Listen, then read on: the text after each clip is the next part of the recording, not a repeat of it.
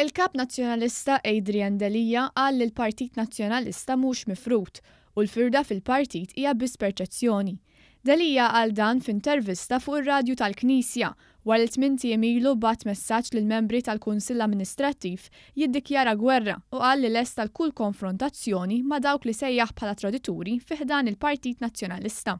U issa hemm min qiegħed jgħid illi b'dak bl-avvenimenti ta' dawn l-aħħar erbat ijiem, il-firda hija irrimedjabbli. X'se tagħmel biex tfejjaq? Inti t-tabib. L-ewwel ness assolutament ma naqbilx illi l-firda hija irrimedabbli.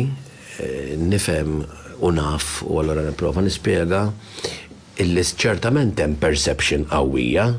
Iżda l-firda li teżisti fil-Partit Nazzjonalista fakkruh fiha d-deputati Nazzjonalisti, li mal-Malta Independent għal darb'oħra wrew it-tħassib tagħhom dwar is-sitwazzjoni li jinsab fiha l-Partit Nazzjonalista.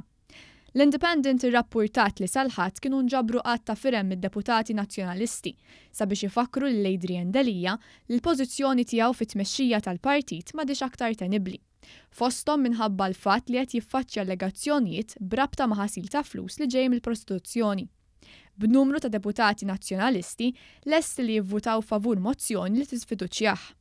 Meta kien intervistat fuq ir-radju tal-Knisja, Delia għamel dikjarazzjoni surreali, għax qal li huwa ma jkunx jaf meta se jitlaqqa' l-grupp parlamentari. M'għandix il-ġurnata hawnhekk fuqi, imma m'hemm ebda problema li jintlaqa'. Dil-ġimgħa? Ma nafx hux dil-ġimgħa jew le, għax għadni m'iniex informat. Qal li m'għandu l-ebda problema li jlaqqa' l-grupp parlamentari, anki jekk it-tnejn id-deputati Nazzjonalisti marru l-Parlament bla ma ltaqgħu bħala grupp. Imma assulatament m'hemm ebda problema li jintaqa' l-grupp parlamentari.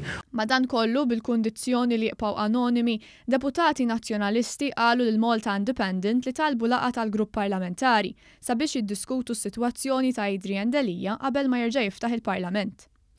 Iżda t-talba tagħna ġiet miċħuda, qalu d-deputati Nazzjonalisti li tkellmu mal-Independent. L-Independent irrappurtat ukoll li ġiet miċħuda talba sabiex jitlaqqa' l-Kunsill Amministrattiv tal-Partit Nazzjonalista. Iżda kelliem għall-Partit Nazzjonalista qal li Delia mhux irrifjuta li għamel dawn il-laqgħat. Dan minkejja li baqgħu ma tlaqqgħux la l-Grupp Parlamentari u lanqas il-Kunsill Amministrattiv. Bil-President tal-Kunsill Amministrattiv tal-Partit Nazzjonalista, David Stellini, qal li l-ħsieb huwa li ssir laqgħa din il-ġimgħa. Mat-Times of Malta d-deputati Nazzjonalisti wkoll esprimew it-tħassib tagħhom li minkejja li t-Tnejn reġa' beda jiltaqa' l-Parlament, huma baqgħu fid-dlam u ma kellhom l-ebda laqgħa tal-Grupp Parlamentari sabiex anki jkunu jafu x'pożizzjoni se jieħdu fuq temi li se jiddiskuti l-Parlament. Qal li kulma rċivew kien messaġġ mill-Whip tal-Grupp Parlamentari Robert Cutajar dwar kif se jitkellmu fid-dibattitu li sar it-Tnejn fil-Parlament. It-Times of Malta rrappurtat ukoll li Adrian Delia qiegħed jibża' jlaqqa' l-grupp parlamentari, minħabba li ħafna mid-deputati Nazzjonalisti jemmnu li għandu jwarrab minn kap u lesti jisfiduċjawh.